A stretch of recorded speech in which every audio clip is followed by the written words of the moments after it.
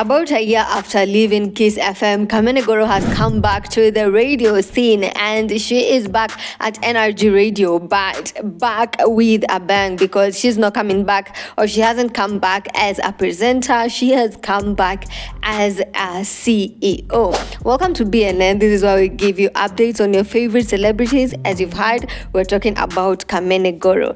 Now, when Kamene Goro left Kiss, she promised us that she would be back to the radio, that we would get to hear her voice again. She also started a YouTube channel and we saw her uploading some videos, but then after a while, that stopped and we also didn't get to see her at a radio station. So people were feeling like, hey, Kamene Goro, what happened? Some people were feeling like she had a step back in life, or rather, that was a step back for her in life. People who are seeing her doing some club hosting were like, This is not what you should be doing. You should be in the radio somewhere. So, people who felt that Kamene Goro was on a downfall or was heading towards a downfall, well, shock on you because she is back and she is back bigger as a CEO at the NRG Radio. They themselves posted her by saying she is back home, a CEO that does not give a fuck.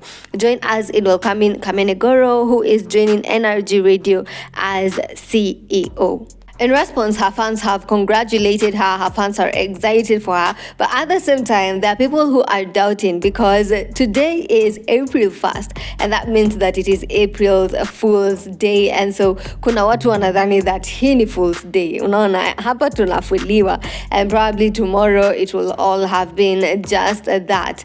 But then again, there are people who feeling like there are people who are feeling like this is actually true, and they have proceeded to send Kamene Goro some congratulatory notes notes and uh, some congratulatory messages here and there.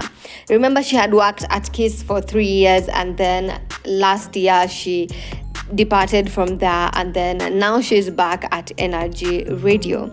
So speaking of Kamene Goro, is she pregnant? This is a question that netizens are asking themselves, especially if you saw the video, especially those who have seen her birthday video on her Instagram page. Just in case you haven't, here is it.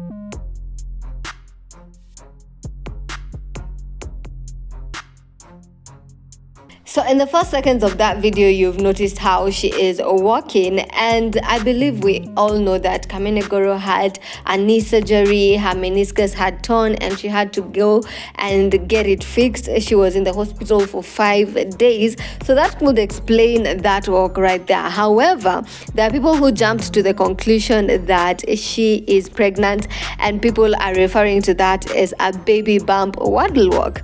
So this person going by the name Call Wavon commented on her page saying, Is that a baby bump waddle walk? Congratulations. Others went ahead and said, We can see something cooking in the oven. So people are trying to insinuate that she is expectant. This is not the first time, of course. Kamene Goro has had to deny such allegations or such speculations before. And so this time she also felt the need to do so again. This is what she said. Over the past week i've seen a lot of comments speculation about how i was walking on my birthday and it always goes back to the same outdated pretty insensitive conclusion that i'm pregnant.